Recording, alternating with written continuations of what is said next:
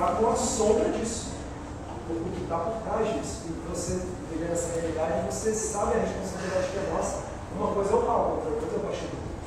Então, uma coisa é o que você aparenta para o outro, outra coisa é o que você é. Então, assim, que nem isso. Uma coisa é a família, uma outra coisa é o artista que apresenta para as outras pessoas, como as outras, a imagem que se tem. Mas, no fundo, no fundo, são entidades à parte. Né? Mas eu, mas eu não dou humanidade não querer ser, ser especial, ter a aprovação. Não, hoje as pessoas estão é, viciadas. É. E esse vício é dopamínico. Né? Não tem nada mais viciante do que você receber um elogio, um aplauso. Nada. É muito viciante. Então é dopamínico. Então todas as pessoas estão na rede social o tempo inteiro só colhendo elogios e aplausos.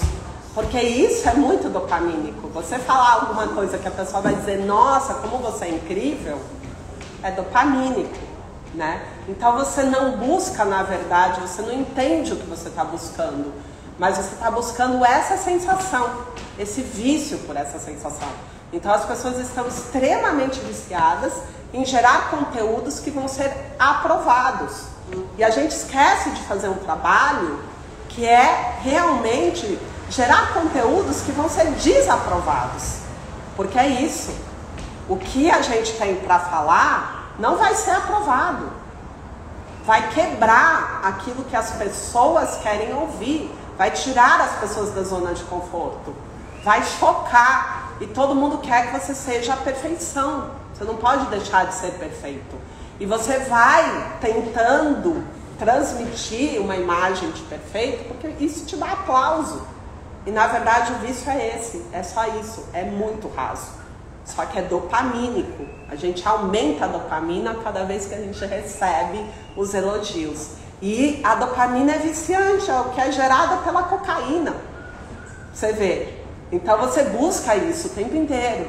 Você, quer, você põe uma foto bonita, você põe um texto interessante, você está procurando só se alimentar de elogios, de aprovação o próprio sistema, o próprio sistema que a gente vive até de expressão, né, é, pessoal, que teoricamente a gente pode falar o que a gente quiser, ele bloqueia a gente. Se a gente falar do ursinho, você fala qualquer coisa relacionada que não, que, que não vai ser aquilo que as pessoas querem ouvir, né, que vai ser contrário, que vai ser conflitante.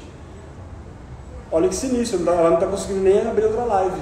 Não está publicando aquela, então, assim, é surreal o nível de manipulação. Então, a gente não pode falar a verdade. Então, você realmente está nesse papel de ter o acesso para falar com as pessoas é muito importante, porque é o que a gente está precisando. E é como a Anu falou, né? Você, como artista, seja plástico, seja audiovisual, seja ator, atriz, enfim, qualquer um músico, dançarino, aquilo que você coloca está carregado de informações né, uma poesia, mesmo que ela não faça o menor sentido, né, ela, ela, a gente está recebendo essas informações que estão vindo do campo de quem criou. Então, da mesma forma que o terapeuta ele tem essa necessidade de também se trabalhar, o artista deveria ter essa mesma preocupação com, que, com essa vibração que eu estou gerando para as pessoas, independente se é pop, se é isso, se é aquilo, se é erudito, a gente não está nem colocando cara, é, é, gêneros ou categorias do que é mais ou menos importante artisticamente, porque é o que eu falo, toda arte tem um, um, um papel, né? Entretenimento, não importa. Mas o ponto é, é o que a gente falou, é, a, é o que a pessoa acredita que ela está. É a motivação dela ao criar aquela letra, a motivação dela ao escrever aquele texto, a produzir um videoclipe, a criar uma música, porque é, é praticamente uma forma de convencer o seu público. Você está convencendo, entendeu? Não é a sua opinião quando você coloca isso, né? Você expõe. Então você está convencendo um público. Eu sempre, eu sempre olhava né, esses artistas gigantes e eu falava, meu Deus do céu, né? As pessoas, você fala um ar, elas estão uma Beyoncé da vida, né? Ela leva as pessoas para o precipício, se quiser. Então, Agora todo mundo gente, vai para o lado do precipício. A gente tem uma responsabilidade gigante. Adquire muito karma de uma vez só. Você adquire o karma de 100 mil pessoas que te seguem. Entendeu? Se você não tiver com a ação correta. E aí a responsabilidade é vibrar, porque é a vibração, é a motivação que é o principal. Então, o que, que a gente vê hoje na arte? um monte de movimento sinistro, depressivo que arrasta pro buraco. E eles acham que isso é arte, é bonito. Só que o que, que você está fazendo energeticamente? Para onde você está levando todas essas pessoas vibracionalmente? Olha o karma que você está tendo. E aí você grava um monte de coisa sinistra dentro de casa. Em preto e branco. E é incrível. É artístico. Só que, gente, a função da arte é outra. Nesse momento planetário é muito sério o que você faz com a sua arte. E você tá toda cagada, depressiva, mal pra caramba, com relacionamento fodido, não sei o que, você vai lá pras redes e finge uma história que não é real, escreve uma letra bonitinha falando de energia, de consciência, coloca lá, mas o que chega é a sua vibração no processo da transmissão. Porque nada vibra mais do que a sua voz, que transmite mais do que isso. Então, quando você está no seu movimento, o que, que você está fazendo? Você está fazendo todo mundo se abrir. As pessoas elas baixam a guarda, abrem os campos de energia delas para receber a sua arte. Elas não fazem isso com mais nada. Nunca você consegue. Relacionamentos de 10, 15, 20 anos não acessam esse lugar que o artista consegue acessar. Então, olha a responsabilidade que é isso. O terapeuta também acessa esse lugar. Porque um terapeuta também tem acesso ao campo de energia. Um influenciador hoje está acessando esse lugar. Então, assim, a gente precisa repensar. E aí, o ponto do desafio é sustentar aquilo que tem que ser. Porque não adianta você fingir que não é. Então a gente fala de muitas coisas, mas a gente não sustenta nada, não tem colhão para nada.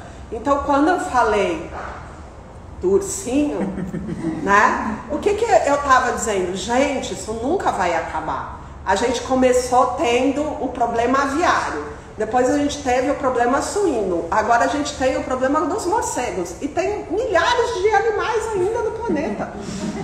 Então, assim, vai vir outro bicho na sequência.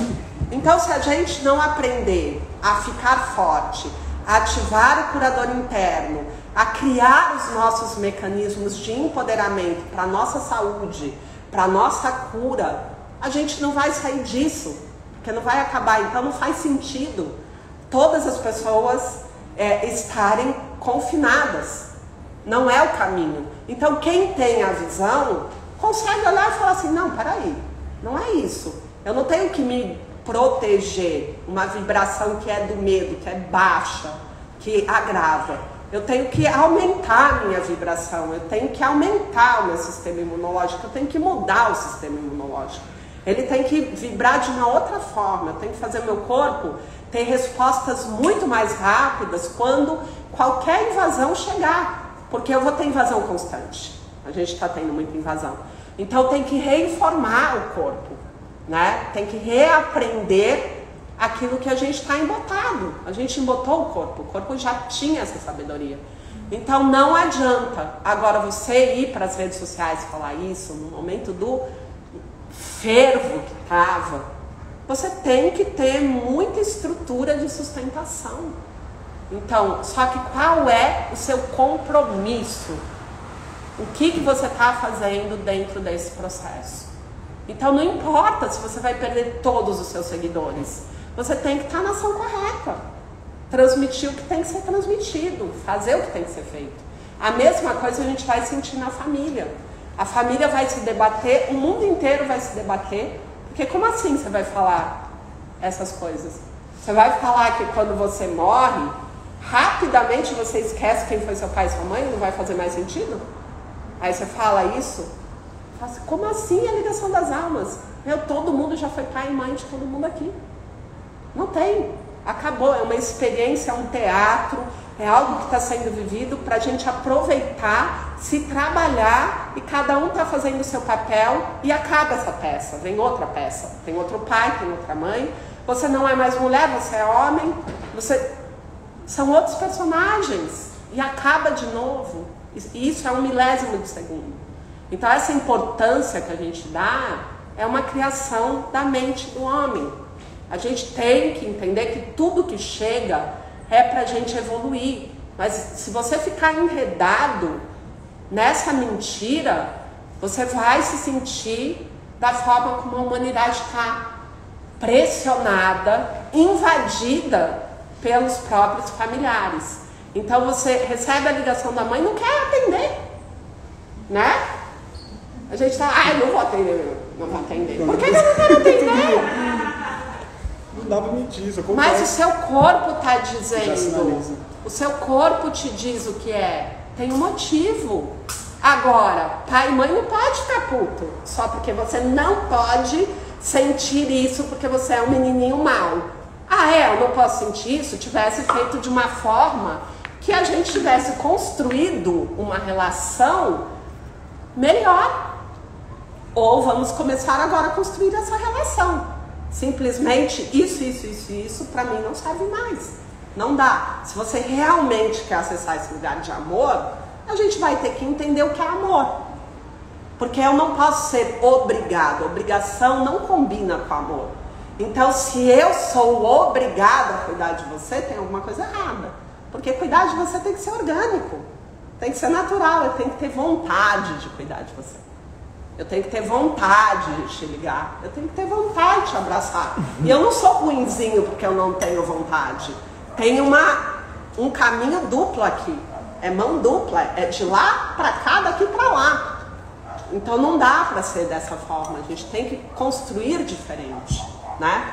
Então se a gente não tiver coragem para quebrar isso e parar de sentir culpa, arregaçar as mangas e fazer da forma que tem que ser feita, a construção do jeito que tem que ser feito, honrando a nossa alma, o nosso espírito, o nosso direito de ser feliz, de ser livre, de ser belo, né? A gente tem que ter esse lugar muito bem definido de não permitir a invasão. A nossa liberdade é o único caminho de felicidade. Ninguém pode ser feliz se não for livre. Ninguém. Então, quando a gente está aprisionado, a gente não consegue ser feliz, né? E por isso que as pessoas mentem. E, e é muito pesado, porque a gente fala muito dessa importância dos novos seres, né, da gente dar esse apoio, porque realmente para quem é mais novo, muito novo, é muito difícil quebrar essa barreira. E a gente já está vendo, a gente fala, não é à toa, né, quando a gente vê essas crianças que estão nascendo, é muito diferente. Né? Você vê uma Maria, é, outras crianças, tantas que a gente encontra, elas já estão com uma consciência muito elevada. Só que quando elas esbarram nesses nessa Sistemas, casca, né, que, fica, que já está vai, de uma geração atrás, que que eles, qual, qual que é o argumento? Não, eu já tenho uma experiência X, eu já vivi muito mais do que você e eu sei o que é melhor. Aí você, pum, como eu vou contestar isso? Não, mas isso também tem que quebrar, porque na verdade, toda essa experiência, o que eu falou, não deu certo.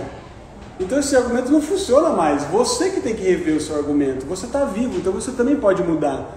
Esse conceito de não é mais fácil entender, o meu pai, minha avó, minha mãe, eles já estão velhos. Puta idiotice. Você está vivo? Sim, você pode mudar e reaprender. Você não aprendeu a usar o WhatsApp? Agora você mexe no WhatsApp e manda corrente o tempo inteiro? Então você pode aprender também que as coisas não são mais como em 1930, 40, 50 e agora existem outras coisas, outros conhecimentos, outras consciências que podem levar a gente para um resultado melhor né, e sair dessa, dessa distorção, sair dessa doença. Mas se a gente se sente culpado de fazer esse movimento, a gente está validando a distorção. A culpa tem que ser quebrada. A gente não pode sentir culpa por não sentir vontade de estar com alguém. A gente tem que respeitar o nosso corpo. Ele é sábio, ele entende o porquê. Existem várias energias que são nocivas e que fazem mal e que podem partir de pai e mãe, sim, também. Pai e mãe também têm que sustentar a ação correta. Eles não têm o direito de invadir, porque são pai e mãe. Não têm o direito de detonar com a, no, com a nossa estrutura de coragem para a vida, de fazer o que a gente quer. Né? Eles não podem fazer isso, não podem destruir esse lugar. Eles têm que respeitar e têm que entender o que, que é ser pai e mãe na nova era. Esses seres vêm cheios de dons. E aí não dá mais para você pegar um modelo antigo onde você quer que a criança fique decorando coisa. Gente, arcaico. Eles têm um celular na mão e eles têm que ficar decorando coisas ainda. Isso servia quando a gente não tinha dinheiro para comprar a enciclopédia. E você tinha que decorar. Entendeu? Ninguém parou para pensar nisso ainda, pelo amor de Deus. E ainda as crianças são reféns disso. É óbvio que elas vão estar hiperativas e várias situações vão acontecer. Então, assim, a gente tem que se atualizar. Ninguém mandou, você está na nova era, com a cabeça arcaica. Ou você melhora a sua cabeça, ou você vai se debater muito, vai sofrer demais, porque eu sou um ser da nova era, comprometido com a nova era. Você que muda agora. Eu estou aqui fazendo meu processo. E não tem nada de errado de você dizer para seu pai e sua mãe, mude. Isso não está bom. Você está mal, você está gordo, você está infeliz, você já não transa mais, você só come besteira e você quer me dizer como é que eu tenho que fazer? Muda. Então a gente tem que falar essas coisas. Falar a verdade. Que é a verdade, porque a gente também ajuda eles a, a evoluir. Como você está bem no seu relacionamento, né? Nossa, eu vejo todo dia vocês se dando muito bem. Mas não, isso não é entrar em julgamento, porque eu vejo que meu pai ficando muito mal, e aí você falou que aquela açúcar, meu Deus, você vai morrer, já é vegana. Não, o problema é quando eles entram na sua vida dizendo que você está errado por comer tudo que não faz mal, então você é vegano você é errado, né? Porque comer carne é bom, né? Tá na lista dos cancerígenos maiores que a gente tem, mas você mostra o artigo científico, ah, isso é besteira. Assim, mas é é artigo científico. Ah, mas não é assim. Ah, nossas avós comiam carne, a gente sempre foi saudável comendo carne, agora vocês estão com problema porque vocês não comem carne. Entendeu? O problema é que não somos nós que não aceitamos. São eles que não aceitam a nossa nova forma. Essa é a verdade. Então, nesse momento, a gente só mostra. Fala, é, você tá super bem, tá saudável pra caramba. Super disposto. Tá bonito. disposto, tá se exercitando, tá vivendo bem, seu relacionamento tá ótimo, porque é uma forma também da gente cumprir o papel. Entendeu? Só que o que, que a gente faz? A gente não faz isso. Que não é julgamento, é você olhar o resultado. É um conflito muito grande. Entendeu? Os Você- dons mais novos são criados de uma forma no iPad o tempo inteiro e se alimentando de fast food. Mas eu fico com medo de entrar em julgamento e aí atrair pra mim aquilo ali, de olhar meu pai criando dessa forma, é, é difícil pra mim entender onde eu entro. Então, o julgamento ele tá sempre com base numa revolta. E aí a gente tá realmente num lugar que vibra ruim. Quando você tem uma visão clara e você sabe que a sua motivação ela tá alinhada, porque você já tem experiência, você já tem o campo, você já tem o resultado, não tem problema nenhum você mostrar. Mas você não pode querer invadir. É quando você recebe esse nível de invasão. Porque o que, que acontece muitas vezes? Ai, você é muito egoísta. Você vai ficar velho. E aí eu quero ver você não ter ninguém para cuidar de você. Porque vocês estão fazendo isso, vocês são jovens. Ainda joga maldição em você. Aí você vem me amaldiçoar. Entendeu? Tipo, é, isso é uma invasão. Você tem que dizer, para de me amaldiçoar. Eu não aceito sua maldição. Joga pra lá. Só que a gente não vai deixar de cuidar dos nossos pais velhinhos. Só que a gente não tem que sofrer a velhice deles a vida inteira. Desde que você é criança, você fica ouvindo isso. Então, qualquer lugar que você está, você está sofrendo porque, nossa, eu deveria cuidar do meu pai e da minha mãe. Quando ele precisar de cuidado. Você está precisando de cuidado? Não tá, então não fica jogando na minha cara. Quando você precisar de cuidado, você vai entender que eu vou estar lá. Nesse momento você não precisa de cuidado. Né? Você tem a autonomia de viver a sua vida. Eu vou viver a minha vida enquanto eu posso, porque daqui a pouco, do jeito que você se alimenta, dorme, come, eu vou estar fundido, né? Porque eu sou obrigada a cuidar de você. Entendeu? Então deixa correr. Deixa eu viver as coisas boas enquanto você ainda não está fundido. Você vai ficar, certamente.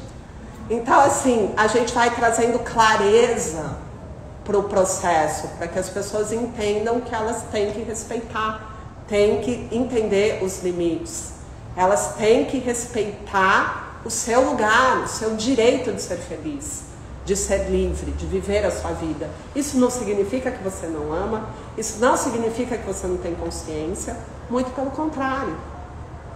Falou sobre o, o você falou das, crianças, eu tenho uma filha de 16 anos e ela está na iminência de repetir a terceira vez. Eu coloquei ela numa escola construtivista, que é mais liberal, né?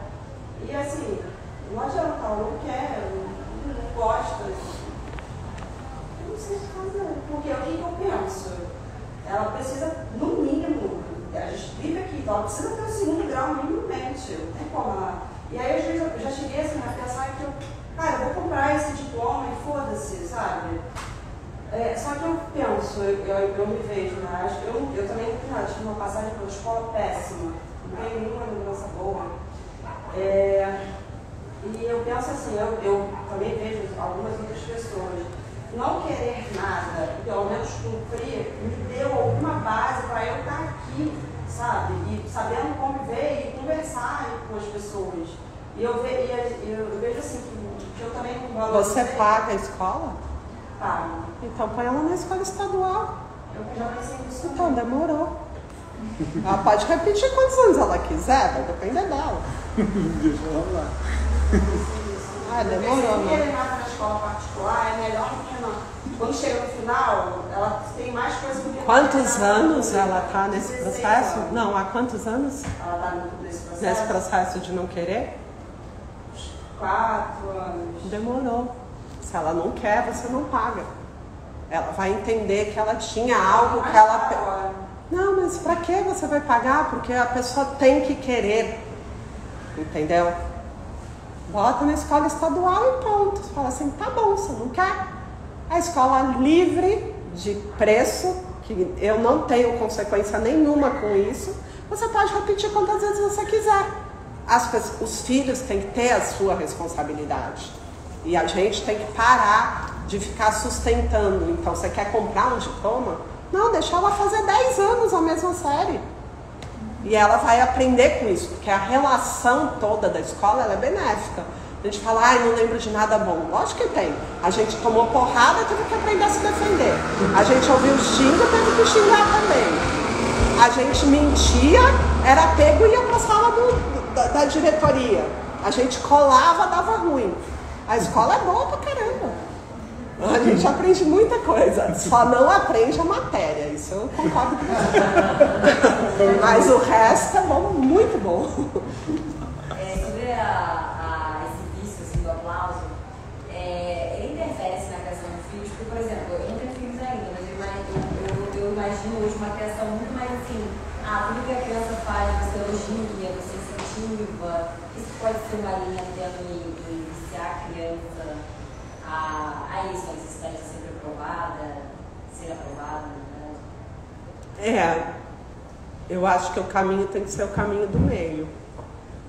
O ponto é que, é, primeiro, o corpo da mulher foi projetado para ter filho com quem de 14 a 18 anos no máximo.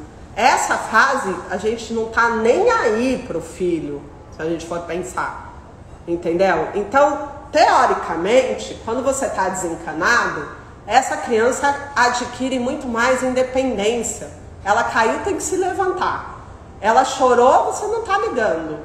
Então, é um momento de formação onde você consegue ter mais autonomia. Hoje os pais roubam total autonomia dos filhos. E fica em cima. Ai, que lindo, maravilhoso, filho, você é incrível. Isso faz mal. Não é você que tem que dizer que ele é incrível, na verdade. Então a psicologia, ela atrapalha muito o processo. Ele tem que entender o quanto é bom para ele conseguir atingir determinados resultados ou não. E você não deve nem criticar e tipo punir porque ele não chega naquele lugar e nem elogiar muito porque você quer que ele continue. É uma manipulação, é um jogo. Ai, vou elogiar porque assim ele fica incentivado Estimulado. para conseguir ser melhor. Então é a mesma coisa que você está fazendo, só em polaridades diferentes. Entendeu? Então essa pessoa ela não consegue ter uma motivação interna por ela mesma. Se não tiver alguém que aplauda, ela não faz. Se não tiver mais alguém junto, ela não conclui. Não pode ser assim. Então a gente tem que entender que o processo ele tem que ser natural de cada um. Você tem que dar a liberdade do seu filho se desenvolver sem você entrar em todas as questões. Porque existe uma intimidade de cada um que é um lugar só seu. E a gente tem que respeitar esse lugar, né?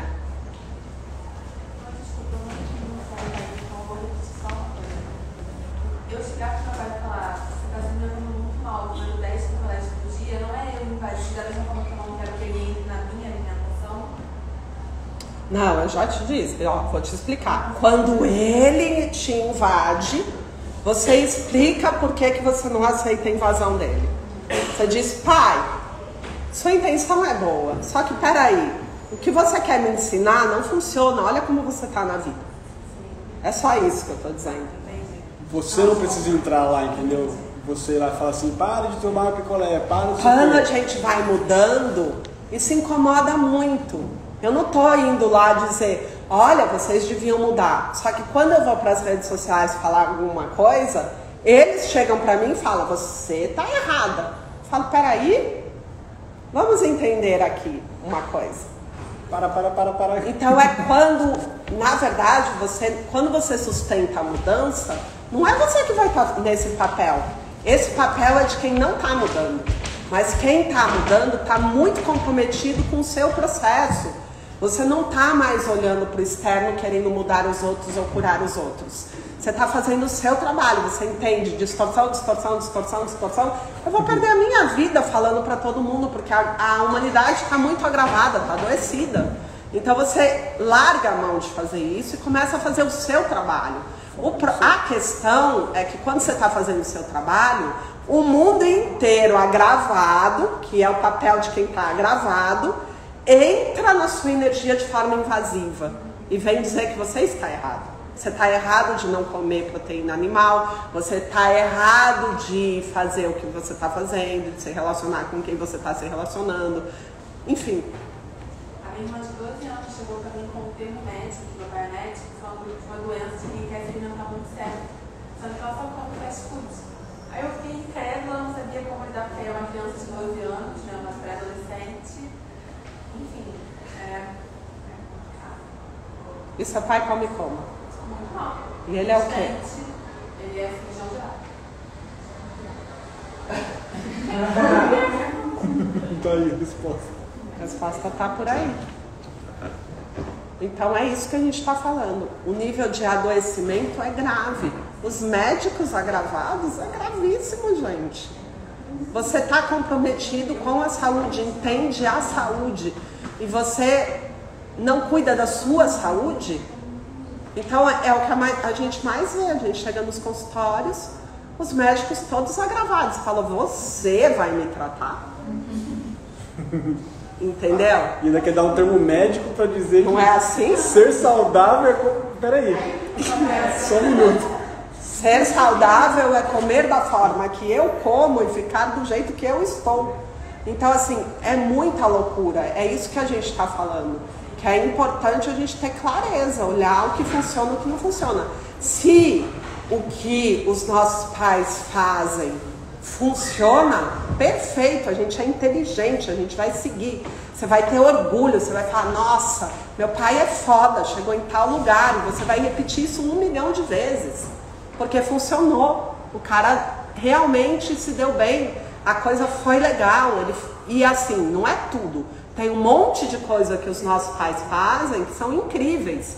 E a gente vai validar tudo que é incrível, que traz felicidade, alegria, que traz um retorno, porque a gente quer ser feliz. Então você pega o modelo que funciona, mas você está olhando o modelo que não funciona. E o modelo que não funciona é essa forma, esses condicionamentos que a gente tem, da forma que a gente é obrigado a ter que carregar o sofrimento, a dor, não sei o quê, que é o que a gente entende, que é nobre isso. Todo mundo vai envelhecer, óbvio, mas você não precisa ficar panicando seu filho de que quando ele ficar velhinho não vai ter ninguém para cuidar dele. É com base em medo, entendeu? E não com base no amor que isso acontece. Você faz o seu melhor. Se o seu melhor ele for genuíno, você tem que confiar na, na, no amor. Você não precisa bater na tecla do sofrimento e do medo. O amor é poderosíssimo. Entrega todo o seu amor. E aí você vai ter resultado. Nem que não venha do seu filho, esse amor retorna para você. Então é isso que a gente tem que aprender a ter, em, é, acreditar no caminho da verdade, da leveza, do amor, do respeito, da vulnerabilidade, de não jogar, de não causar medo, de não gerar culpa, porque é isso que a gente está falando. Os movimentos que são feitos com base em medo em culpa. Você ficar colocando medo e culpa no seu filho o tempo inteiro, né? E trazendo coisas pesadas que a gente não se livra nunca. A gente não consegue se livrar. E aí pai e mãe fica desesperado quando a gente fala que, putz, não precisa é, ter esse comportamento, validar essas coisas que falam. Nossa, mas para que direção ele vai na vida? Meu Deus do céu, ele vai ser um desgarrado? Não, nem que você queira ser um desgarrado. Tenta ser um desgarrado. É um puta trampo do caramba. Não dá. Em todos os lugares a informação é de: olha, você tem que olhar seu pai e sua mãe. Olha, você tem que cuidar, eles estão velhinhos. Não, você tem que aceitar qualquer coisa. Nem que você queira se livrar disso. Se você tiver o dom de conseguir, me fala qual o caminho. Porque a gente faz um puta trampo e não consegue. E por que, você está com medo de batendo nessa tecla todos os dias? É difícil quando você não, tenta não validar, parece que te arrasta assim, opinião dos pais. Eu, eu uma vez passei uma experiência que eu estava fazendo uma alimentação, eu estava assistindo que não estava bem. Só que eu emagreci, minha mãe uma vez ela me ligou, você está muito magro, você está muito bem, de louvar. Eu super não, que não, estou bem, para, desliguei. No dia seguinte eu parei de fazer. Eu super falei, não, não, tipo, não concordo com isso, estou fazendo pelos meus motivos. Depois eu percebi, falei, parece que eu fui arrastada, assim, eu na minha cabeça neguei, falei que não, mas pai fez exatamente o que ela tinha falado. Era simplesmente eu não queria fazer aquela uhum. Então é isso. A gente não, isso não é ser revoltado, rebelde, nada disso. E aí a gente lembra dos mestres, né, que passaram por aqui, o que eles precisaram fazer. Alguém mais tem dúvida em relação ao porquê que eu não devo arrastar a culpa e o medo? Porque eu estou batendo muito nessa tecla, porque se a gente não entender que tem que quebrar esse medo e essa culpa, a gente não consegue fazer esse trabalho da cura do campo mórfico familiar. A gente não quebra os padrões de repetição, porque a base do padrão de repetição é medo e culpa, né? Então, se a gente não deixar isso muito limpo, a gente não consegue sair desse lugar. Até em relação, por exemplo, a sogra e a sogra, porque, por exemplo, minha sogra falava assim: É, Michelle, vai se preparando que quando tiver mais velhinho você vai cuidar da gente. Então, eu só olho assim e falo: Você tá doido? Eu quero ir dentro da minha mãe, eu tenho que de você. Ou então eu falo assim pro meu, igual o meu sogro falou pro, pro meu marido: Meu filho, você já olhou essa questão da tireoide? Porque, ó, daqui a pouco você vai ter esse problema de tireoide, porque eu tive e o meu pai também teve. Eu tenho e meu pai teve. Então você vai ter. Então, assim, eles ficam colocando muita coisa, assim, o na, na nossa cabeça. E eu falo, ó. Não, então assim, qual é a motivação de você fazer um negócio desse? Filho, você vai ter problema de tiroide, porque eu tive, seu pai teve, então é fato que você vai ter. Nossa, que coisa boa que você fez pra mim agora! Sensacional! Né? Sai daí! Então a gente não percebe. Não, e como você lida com isso? Porque é sogra de sogra, eu não falo nada, eu fico. Né? Pra não gerar Ela me acha conflito. Ela me acha doida. Todos eles me acham doidos. Porque eu vou contra muito o que eles falam. Mas é normal, tipo, outro dia o pai do Alan falou também, né? Filho, eu era magro e alto igual você, assim, era idêntico a você. Mas se prepara, viu? Porque olha como eu fiquei, você vai ficar igual. eu disse, não vou não. Não vou mesmo. Não vou mesmo. Parece que é muito inconsciente que você faz, mas a gente faz muito essas coisas, né? O tempo inteiro. Então tá, a gente vai deitar, porque agora a gente já. Antes vamos fazer um xixizinho. Amor, uma coisa que eu lembrei agora. Pode falar, Bruno. Deixa eu rolar? mais para compartilhar. Eu sinto que eu estou liberando agora. Eu sempre fui um filho meio desgarrado, porque eu sou muito filho, né? Então eu não lembrava. Eu falava com meu pai com minha mãe, tipo, ah, tô indo pra tal lugar, vou voltar hoje pra casa, não vou. E, e, e de um mês pra cá ficou mais forte essa cobrança deles. Aí eu lembro que eu me sentia culpado porque eles me procuravam e eu não dava uma resposta, eles estavam preocupados me procurando, eu tava tipo, caramba, eu queria a minha vida. E isso tem que ser liberado também, né? Agora que eu tô associando que não, a gente não tem que se validar sentir uma culpa para se sentir responsável como filho para com o pai. É, a nossa atitude não pode ser com base nas energias densas e na distorção. Eu não posso ter uma reação a uma sensação que eu tô é, validando, entendeu? Então, o medo não pode ser a base de uma ação. A culpa não pode ser a motivação de uma ação. Então, toda vez que a motivação da ação são energias densas, a gente tem que quebrar, porque isso é doentio, isso não faz bem. E não importa qual é o contexto, a gente está falando energeticamente. Se o que me motiva a ter uma ação é uma energia distorcida, eu tenho que quebrar isso. Então, ai, por culpa eu ligo. Ai, por medo deles morrerem e eu me sentir culpado, eu ligo. Então, todas essas ações que eu tenho com base numa energia distorcida precisa ser quebrada. A gente não pode sustentar isso. A minha ação tem que ser com base nas energias mais elevadas. O amor, a saudade, a vontade de estar junto, né? Sentir falta da energia da pessoa, porque o filho sente falta. E ele fala, nossa, hoje eu estou sentindo falta da energia da minha mãe. Então que aquele dia seja o dia mais importante. Porque ele é com base numa energia boa, vai fazer bem para você, vai fazer bem para ela e vai ficando no campo mórfico essas ações benéficas, com base em verdade, liberdade, respeito. Respeito é uma coisa muito importante. A troca vai ser real, né? É uma troca real. Então, sempre que a gente tiver uma ação baseada em uma energia distorcida, em uma distorção, isso pede que seja quebrado, porque isso é ruim para ambos os lados. Porque inclusive uma fala muito famosa é sempre vai ser. Eu só falo isso porque eu te amo. É com muito amor no coração. Só que assim, é com muito amor no coração, só que você tá atrás dessa fala que você disse amorosa, tá o medo, tá é todo esse monte de coisa por trás, tá essa incitação de culpa, né? Eu tô querendo jogar fazer você se sentir culpado. Tem o medo que eu tô aqui, tô cagando de medo por várias coisas que não vão acontecer. Não funciona assim. Então é como eu falei, essa vibração, só que aí vem o discurso ao contrário. É a energia que chega antes. Então, quando a motivação é uma energia distorcida, a gente tem que quebrar. Então, pai e mãe tá com medo de perder o filho. Tem medo que um filho morra. Aí fica, cuidado, hein? Cuidado com isso, cuidado com aquilo, cuidado com aquilo outro.